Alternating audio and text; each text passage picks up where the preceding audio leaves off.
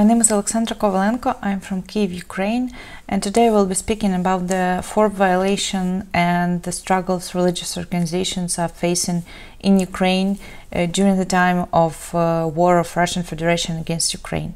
I will share my screen and show you the presentation I've prepared. Of course, uh, churches, as well as all the other parts of the Ukrainian society, are highly affected by war. And in my presentation, I will firstly talk about the brief overview of religious uh, situation in Ukraine, uh, just to for you to understand the context. Then I will speak more about how religious organizations are affected uh, by current uh, war, uh, and I will also cover uh, the situation during the occupation during the past eight years from 2014 and uh, how the freedom of religion and belief was uh, violated on the occupied territories. And in the end, I would share some useful resources that you can use because, like, of course, I cannot cover everything in 20 minutes, but you can refer to those uh, studies uh, in case you need more information. First of all, I will show you the results of the sociological study by Razumkov Center. Uh, it's a study that has been conducted annually since 2000, so for more than 20 years, and it shows the trends uh, of religiosity of Ukrainian society. Uh, it also has in-depth interview with focus groups, which are also quite representative. Uh, and uh, by this research, you can see how the situation has been changing throughout the years. So as you can see on this screen, the majority of uh, Ukrainians, they do identify themselves as believers. Uh, the percent uh, in 2021 was 67.8%. Uh, the percentage of people who waver between faith and non-belief are 13%, non-believers around 6%, convinced atheists 3.4%, uh, and people who found it hard to answer the question or they don't uh, care much about religion around 10%. You can also see that throughout the years the highest percentage of people who uh, said that they were believers was in 2014. So it's the after the revolution of dignity, uh, the annexation of Crimea, when the war started, uh, people came to church and uh, more people identify themselves as believers. And we also can predict that in 2022 these numbers will be even higher. Uh, me personally, I have example of my friends who were not that religious before, but after the war they of course come to church for comfort, for support. So these numbers will get higher. Of course, the majority of uh, people in Ukraine uh, they are Orthodox historically, but uh, it's not uh, the only uh, religious community, uh, of course, in our country. we have Protestant churches present, very present. I would say that in social life and in different initiatives, youth work, they sometimes are even more active than uh, Orthodox churches. Uh, we have Greek Catholics, Roman Catholics, and historically, again, we have uh, Jewish uh, community, we have uh, Muslim community, Crimean Tatars are Muslims, but also we have Buddhism, Hinduism, paganism, and new religious movements. I'm proud to say that Ukrainian legislation is quite flexible and open. So pretty much if you have 10 people, you can register a religious community and have your activities. Uh, it's not uh, controlled by the state and like you can even have the community without the registration you need just the registration if you want the bank account but uh, if you find without that uh, you can just have a community and uh, have services and uh, do all the necessary activities without permission from the state Speaking about the effects the war had on religious uh, communities, first of all, it's of course the uh, destruction and effects on religious buildings. Uh, so uh, I used here the data from the report of the Institute of Religious Freedom, which they published in the middle of July this year. Uh, and by that point, uh, there were at least uh, 270 uh, spiritual sites uh, in eight regions of Ukraine, which were uh, damaged or highly affected, even ruined sometimes, due to the war. Uh, during the first two months, it was uh, on average two churches per day were uh, either destroyed completely uh, or damaged uh, because of the war and because of the constant challenge. Uh, here on the screen you can see uh, the map uh, and uh, by the link you also you will have the whole report which is very comprehensive and it's uh, I think very interesting to watch. It is in English. Uh, so basically the most affected areas are the uh, Kharkiv region, uh, Luhansk and Donetsk regions uh, and the Kiev region. during March and April while the Russian troops were still near Kiev, lots of the churches were destroyed destroyed. And there is also other research which was done by the uh, group of uh, Ukrainian uh, religious scholar studies, which is called Religion of Fire. They visited themselves places in Kiev region and filmed uh, the churches, the destruction, the icons, sometimes with like signs of bullets in them. So uh, they also published the results of uh, the first six months of the research recently, and I also leave you the link to that. It is interesting when we look at confessional affiliation because the majority of the churches which were destroyed are the churches of the Ukrainian Orthodox Church of the Moscow Patriarchate.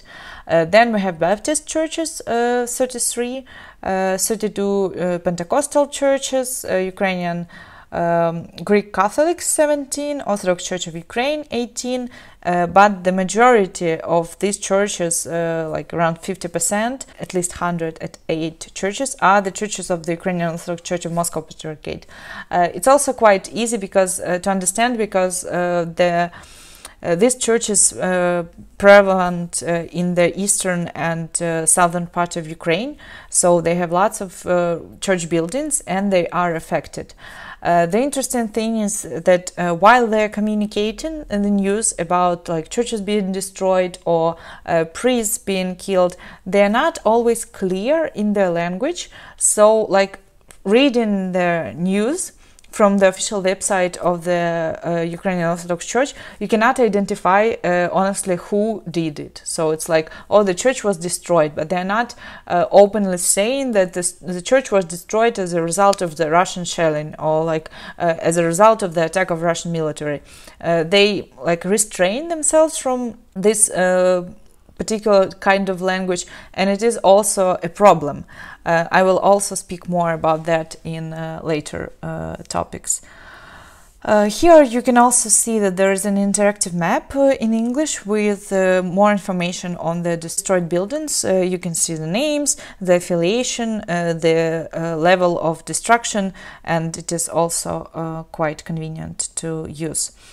Uh, another problem is that the part of these churches are our cultural heritage. Uh, there are some uh, 140 years old wooden churches that are being uh, burned to the ground and like uh, of course, they cannot be restored uh, and they cannot be rebuilt from the ashes. Uh, this heritage we're basically losing right now. Uh, and also the Svetogirska Lavra, which is situated in the Donetsk region, it was highly affected. A few pictures I will show like here it's a picture of Svetogirsk Lavra and the first screen with the bullets on the icon is also from Svetogirsk Lavra. People were hiding there uh, but still it was shelled uh, quite uh, intensively. First of all because the uh, monastery itself is situated on the hill so uh, it has a very strategic like placement and it was important for Russian military to take this point because over there you can basically see the river and see if someone wants to cross the river. So the challenges there were quite intense. And some uh, buildings as you can see here they are destroyed completely. Another topic is that russian military they uh, also kill the priests uh, and the, during the first uh, two months to three months uh, of the war at least five priests were killed and we know that sometimes they were aware that it was a priest. For example, Father Maxim Kazachyna, the priest of Orthodox Church of Ukraine, he was wearing a soutane uh, at the time he was uh, shot uh, by Russian soldiers. It happened in Kiev region. He was trying to evacuate on his car. His car was stolen from him and he was uh, shot uh, dead. Uh, but at that time he was wearing like a priest attire. So the military of course were aware that it is a priest and still they uh, killed him. Uh, another story was about the priest who went to collect the humanitarian aid in bucha uh, and uh, two months later uh, his body was identified uh, that he was killed pretty much the same day. Also some priests are being kidnapped by the occupational authorities It happens in uh, Zaporizhia and Kherson region. Uh, we have uh, witness from uh, Father Sergei Chudinovich. Also, in that report I was uh, talking about earlier, they have the links to the video uh, recordings of the priests who tell their stories, which you can also watch if you are interested. They tell what happened to them. and another very like famous example was Father Vasil Vorozub, who was a member of the Ukrainian Border Rescue Mission on Zmi Zmini Island. Uh, I think probably you heard the story on the first day uh, uh, when the Russian warship uh, came to the Zmini Island and they took prison our coast guards uh, and among them uh, like after that there was a rescue uh, operation and among people on that rescue ship was Father Vasily Vorozub. He was also taken into captivity. He was kept there for two and a half months while suffering moral and physical torture which was reported by other people who were rescued before. They said that yes, uh, the priest is still in captivity and he's uh, suffering from uh, torture from the side of the Russian military. The possible motivations for such actions is that first of all, uh, the occupying uh, powers they're trying to force priests to cooperate with them because priests have uh, authority in communities. They can speak to people. They can convey ideas they also do this uh, in order to intimidate them or keep them silent if their position is uh, uh, pro-Ukrainian, against Russian forces. Of course, uh, they don't want these uh, ideas to be spread and talk to people. There is also pressure on denominations whose activities are undesirable uh, for the occupational regime. for example, Ukrainian Greek Catholic Church or the Orthodox Church of Ukraine. And another reason is the blackmail in order to obtain a ransom for the exchange fund because like the priests are more valuable if i may say uh, of course it's horrible thing to say but yet uh, are more valuable for the exchange fund uh, for later exchanges of war prisoners. But the other problem is that we have also the problem of collaboration of the priests of the ukrainian orthodox church of the moscow patriarchate with the occupational forces. Uh, basically, uh, when there was a translation of the uh, so-called presentation of results of the referendum of Kherson, Zaporizhia region, uh, on that video from uh, Kremlin, which was uh, shown on national Russian TV, there were spotted a few priests and even a bishop of the Ukrainian Orthodox Church of the Moscow Patriarchate. Uh, and after that, uh, the official uh, church they made a statement they, that they support the uh, integrity of uh, Ukraine, they're against the invasion, but um, the fact that these uh, priests and like even a bishop were present in Kremlin on this event, it's kind of their personal business. So any actions from the side of the uh, Ukrainian uh, Orthodox Church uh, were not officially taken against uh, those representatives of the church. They said it's more like their political opinion or their personal opinions, uh, and uh, even though the society was expecting some actions from them, I don't know, like changing the bishop or something like that, it did not happen. Speaking about the violation of freedom of religion on the occupied territories, I would like like to speak uh, first of all about the occupied Crimea, uh, where it was the forced implementation of the Russian legislation, uh, which significantly worsened the situation of religious communities in Crimea. Before the occupation, we had 2,083 religious communities. After that, uh, the Russian uh, like legislation was implemented. All of the religious communities were forced to re-register by uh, Russian law. The only church that had no problems doing it, of course, was the Ukrainian Orthodox Church of the Moscow Patriarchate. So after the procedure of re-registration, we now have just around 700 uh, of uh, religious communities, religious organizations in the area, and the data is not sufficient because we don't uh, get the official uh, data uh, because Ukrainian um, like government and Ukrainian institutions are not uh, obviously acting in the peninsula. The religious organizations uh, which are being persecuted are the Church of Jesus Christ of Latter-day Saints or Mormons, the Crimean Diocese uh, of the Orthodox Church of Ukraine, Ukrainian Greek Catholic Church, Jehovah's Witnesses, the Ukrainian Christian Evangelical Church, and uh, Muslims and Muslim uh, communities. Uh, for example, uh, if we're speaking about the Orthodox Church of Ukraine, during the years of occupation, the number of parishes of uh, the Orthodox Church of Ukraine reduced from 49 to 5.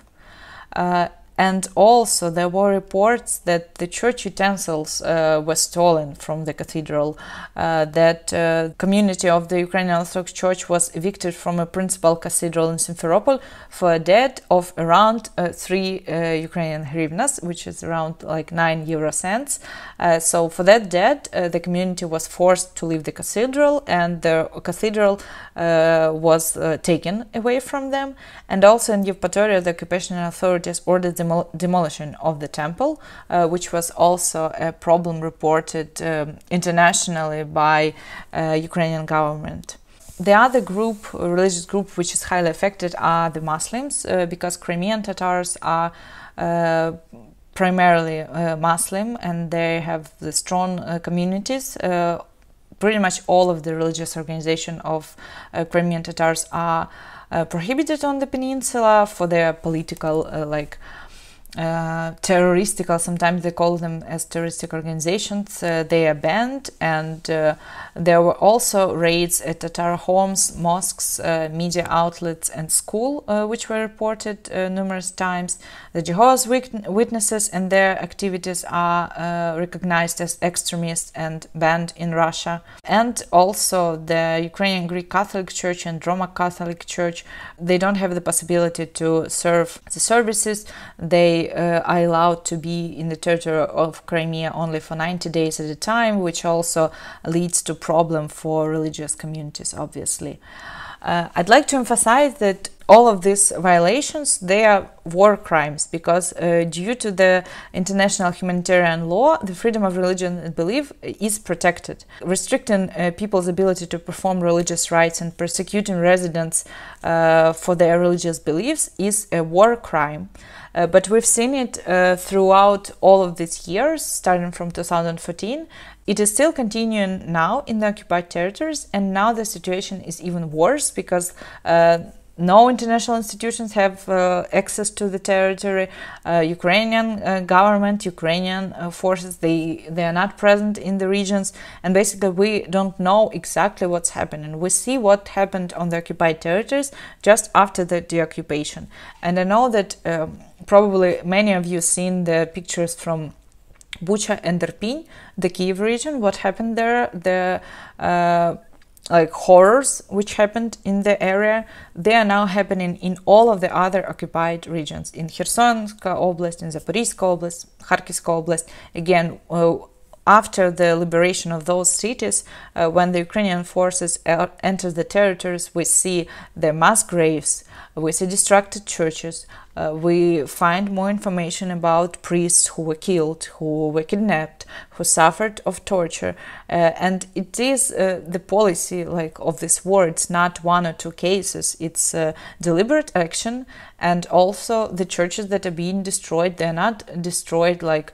by accident. It's uh, deliberate choice of the um, military to shell the civilian infrastructure, to shell the villages, to shell the cities. And if the church is situated there, of course, the church is shelled too. Sometimes we even have uh, like uh, information about the deliberate shelling of the churches, like exactly there was a tank and it turned to the church and it fired at church directly. Uh, we have reports of religious literature being burned uh, on the street. Like we have reports of precious objects from churches being stolen by Russian army. We have reports of uh, Bibles being burned in Kiev region, in Irpin. We have reports of uh, the seminary being attacked by Russian soldiers and uh, destroyed deliberately by Russian soldiers who lived there. So it is something that should uh, that everyone should be aware of, and it is something that's happening in Ukraine for eight months already. I think it's very important to talk about it and to understand that uh, these horrors they're still happening, and uh, uh it is a policy and the idea of this war is destruction. And uh, the churches uh, aren't the exception the churches are being destroyed too. The priests are being kidnapped too. People uh, are being affected uh, and being tortured for their religious beliefs.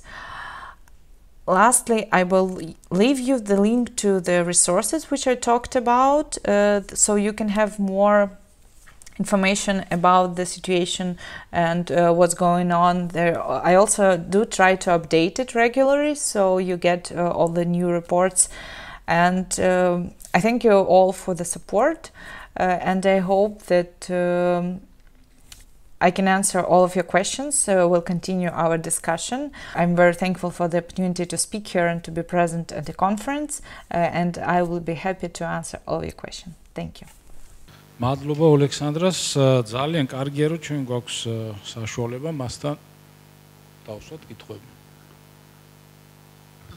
კიდევ ერთხელ მოგესალმებით და ალბათ ყველაზე სწორი იქნება პირველ რიგში ჩვენი ხარდაჭერა გამოვხატოთ უკრაინელების და უკრაინის მიმართ და შემდეგ თხოვთ რომ ჩვენი კითხვები ან კომენტარები Thank you. Uh, hello, Alexandra. Very good to see you again.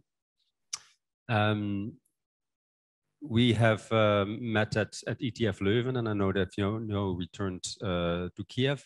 I would like to hear from you after you have described the uh, uh, very difficult situation of the churches in, in Ukraine and of religious communities in Ukraine. Um, what is um, the reaction to that? Are there ways in which the churches are resisting, um, in which they seek to, to still be serving as churches in this difficult situation? Thank you.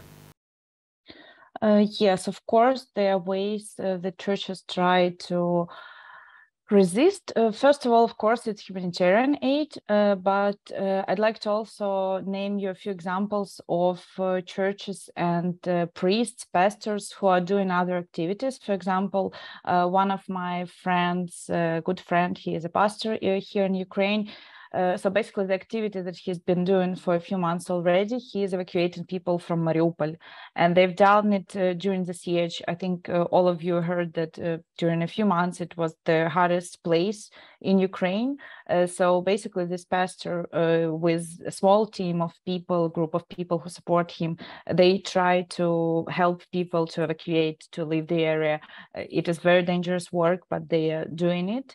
and of course, there are also um, humanitarian aid projects, temporary housing. For example, the Orthodox Church of Ukraine in September, uh, they just opened the first uh, temporary housing uh, kind of unit or village, uh, which they uh, was built with the support of the churches. So um, they are, of course, trying to do the activities, uh, but it is very dangerous and hard on the occupied territories. And the thing is that we don't get much information or the information, for example, that sometimes we do have uh, it's not uh, safe to like spread and talk about it.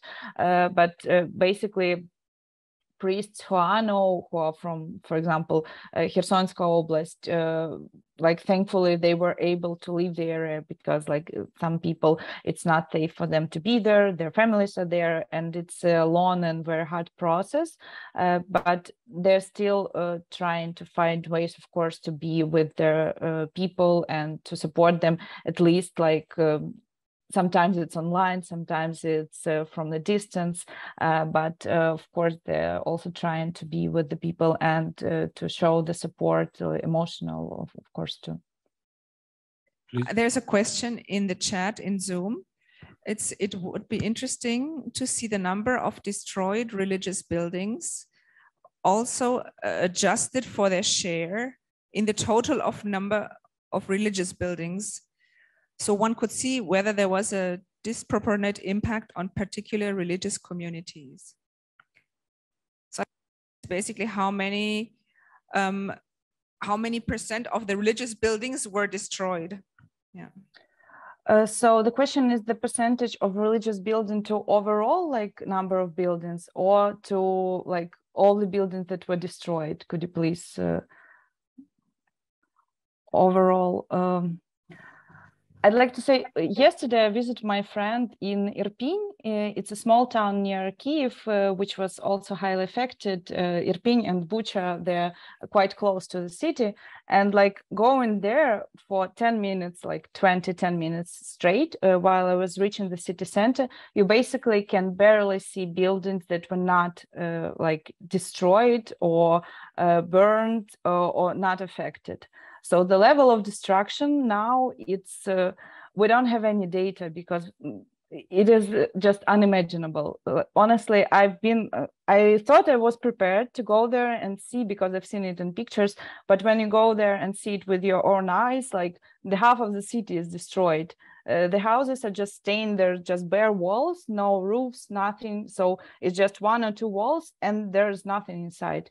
Uh, and it's just uh, two small cities near Kiev. Uh, we have uh, thousands of them in uh, territories uh, which were under occupation, which were in this region that are near the Russian and Belarusian borders. So we don't know the overall number of destructions, and it is thousands and hundreds of thousands of buildings. So of course I cannot compare the numbers, but as I've said in my presentation, there are facts that uh, the Russian soldiers that sometimes they deliberately shelled these churches because uh, I don't know maybe they thought that uh, the base of uh, military are in the church or for whatever other reasons. So we do know that sometimes these shellings were deliberate. Sometimes it's just voluntarily shelling, shelling of the whole village. So uh, if the church is there, it is affected. Like I cannot give you the percentage, but um, I don't know. I think that to begin with uh, when the civilian infrastructure is targeted, when the civilian uh, regions are targeted, just normal villages and cities, uh, it is uh, still horrible. And uh, even if the percentage of like the number of churches, all not all the church buildings were destroyed. Uh, even this data that we have to, today, it's like 2,000 to 170 churches, but I think probably it's more uh, about 500 if we go to the territories that are under occupation now. So uh, the numbers are very high. Well,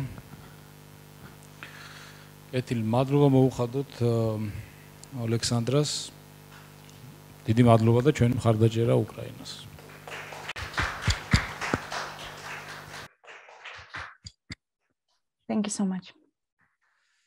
Uh,